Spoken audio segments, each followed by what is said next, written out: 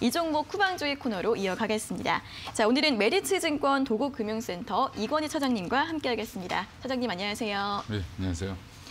네, 오늘 첫 번째 볼 종목은 게임주 썸에이지입니다. 썸에이지가 오늘 17%나 넘게 하락을 했고요. 전거래 전거래일에 고점을 찍고 나서부터 계속 음봉이 좀 길게 나오고 있는 모습입니다. 자, 이 썸에이지 전망 앞으로 어떻게 봐야 할지 손실이라면 탈출 방법이 있을지 차장님의 전망을 한번 확인해 보도록 하겠습니다. OX 어떻게 보시나요? 일단은 좀 주의를 좀 해봐야 되지 않나 오로 음, 보고 있고요. 네. 그럼 지금 뭐 떨어진 이유 자체가 좀 중요할 텐데 상승했던 이유와 떨어졌던 이유를 좀 보실 필요가 있는데 일단 셋이 최근에 서메이지 같은 경우는 뭐 신작 발표도 이제 뭐 기대감 4월 1일 날 신작 발표를 했고요. 그 다음에 이제 중국 게임사와의 지분 관계 이런 것들이 있으면서 굉장히 급등을 했던 모습으로 보여줬고요. 그, 그 이제 논란의 안에 들어가 있는 게임은 데카메론 M이라는 건데 기존에 이제 데카메론 데, 데카론이라는 데카론 M이라는 게임인데 데카론 기존에 이제 PC 게임을 모바일로 바꾸는 거라고 보시면 될 것 같습니다.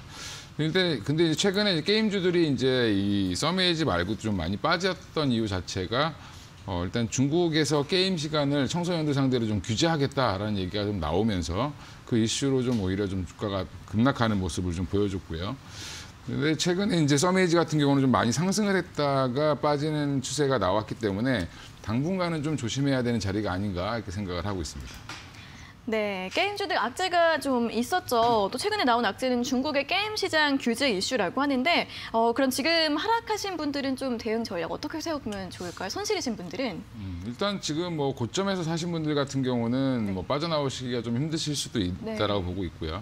근데 지금 뭐 차트를 보더라도 이틀 동안 많이 빠졌지만 사실은 뭐 천, 4월 1일 날 올라왔던 그 가격대 뭐 그때는 이제 거의 26%까지 올라갔었는데 그러면 결국에는 그 가격대 정도까지 회복은 언제든지 가능할 걸로 좀 생각을 하고 있습니다. 결국엔 뭐 이 이슈라는 게 우리나라도 국내도 예전에 이런 이슈들이 좀 많이 있었는데 결국에는 그 이슈들이 다 해소가 되고 결국엔 실적에 나오고 뭐 흥행이 된다라고 하면 오히려 반등이 나올 수 있기 때문에 지금은 이제 외부 변수에 의한 뭐 어떻게 보면 뭐 급락이다라고 봤을 때 이 개별 게임 이슈가 아니라 어떻게 보면은 조금 뭐 단기 전체 게임 업계에 대한 그런 이슈가 나왔다라고 보시면 되는데 단기 급등에 따른 차익 실현 매물이 나올 수 있는 자리였기 때문에 조금 더 많이 빠졌다고 생각을 하고 있고요.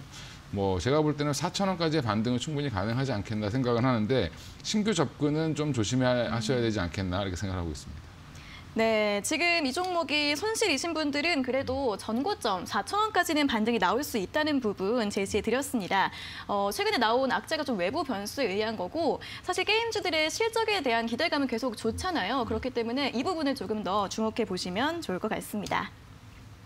자, 다음 종목 바로 볼게요. 다음 종목은 서울 옥션입니다. 서울 옥션은 어, 역시 이틀 전에 신고가를 경신하고 나서 오늘 15% 이상 하락을 했는데 전문가님 서울 옥션 전망은 O로 보시나요? X로 보시나요?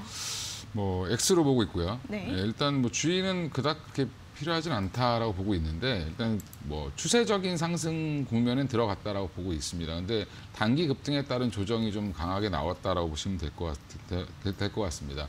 결국에 이제 최근에 이제 미술 소비 미술품 관련된 소비가 증가세로 돌아서고 있고 최근에 이제 그 경매 같은 경우도 굉장히 잘 이루어지고 있기 때문에 어떻게 보면 고가품들이라든지 명품에 대한 소비는 코로나 이후에 더 늘어나는 추세였기 때문에 뭐 저도 서울 옥션을 계속 꾸준히 봐왔는데 주가가 거의 지금 뭐 1월, 3월 달부터 급등하기 시작, 3월 초부터 급등하기 시작해서 한 달 내내 올랐다가 지금 이제 조금 조정이 나오는 국면이다라고 보시면 되는데 워낙 이제 서울 옥션 거래해 보신 분들 아시겠지만 호가가 좀 얇고 어, 뭐 거래 물- 이제 상장되어 있는 거래 거래되는 이제 주식 수량 자체가 크지 않기 때문에 조금만한 하락에도 좀 뭐좀 이렇게 변동폭이 클 수 있는 종목이다라고 생각하시면 될 것 같고요. 저는 이제 개인적으로는 이 회사가 나빠져서 빠졌다라기보다는 뭐 단기 급등에 따른 조정이라고 판단을 하고 있고 오히려 지금 올해 사상 최대 실적을 낼 걸로 예상을 하고 있기 때문에 오히려 지금 조금 더 빠진다라고 하면 뭐 21선 근처까지 좀 내려온다라고 하면 오히려 추가 매수의 기회가 되지 않겠나라고 생각하고 있습니다.